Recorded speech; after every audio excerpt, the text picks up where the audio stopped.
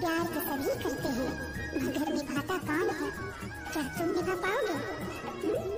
आज नहीं तो कल मेरे प्यार पे प्यार होगा। पत्थर का दिल कभी तो मोर यार होगा। तुम्हारी नज़रें ढूंढेगी मुझे उस दिन कल जब मेरा तमाशा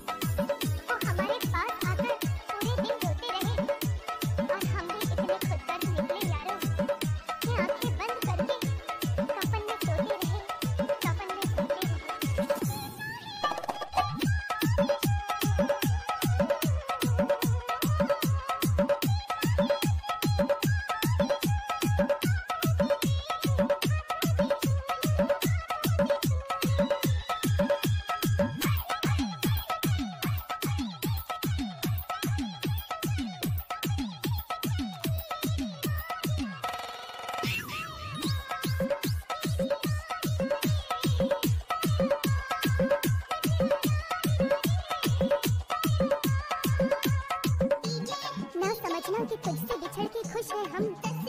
हमें लोगों की खातिर मुस्कुराना होगा। वो जहाँ